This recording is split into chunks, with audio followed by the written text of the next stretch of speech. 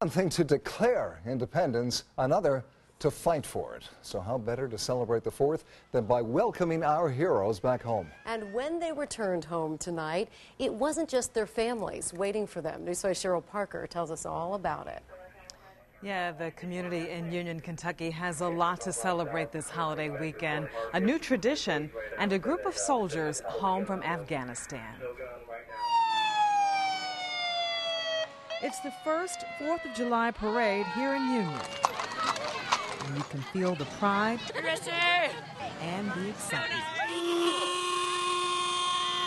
Made me feel more patriotic. Uh, God bless America. I'm taking that away with me. But perhaps no one is more proud than the grand marshals of this inaugural celebration. Members of the 1st Squadron, 32nd Cavalry Regiment, 101st Airborne Division Air Assault out of Fort Campbell, Kentucky. The Army unit was adopted by the people of Union while they served for a year in Afghanistan.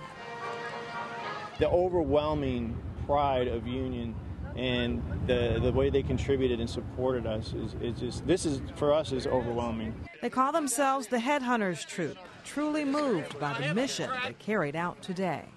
It's kind of weird when people say thank you to us, especially from Union, because to us, we feel like we need to be thanking them.